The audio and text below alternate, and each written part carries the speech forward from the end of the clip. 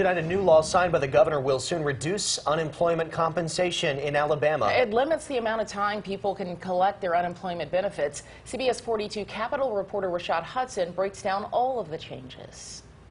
Currently in Alabama, a person has 26 weeks to receive unemployment compensation, but a new law will slash that to 14 weeks.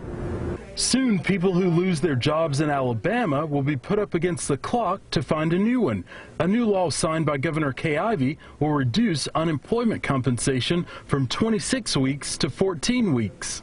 Unemployment compensation benefits are designed to, to be sort of a bridge until you can find another job. Tara Hutchinson with the Alabama Department of Labor says their average of someone receiving benefits is below 14 weeks. You will have some people who will exhaust the full 26 weeks, and then you'll have some who, who may only draw one to two weeks. This law isn't supported by groups like Alabama Arise, who advocates for low-income families. But the bill sponsor, Senator Arthur Orr, says the time will be linked to the state's average unemployment rate. If unemployment in the state is low, that means the person will have less time to receive compensation.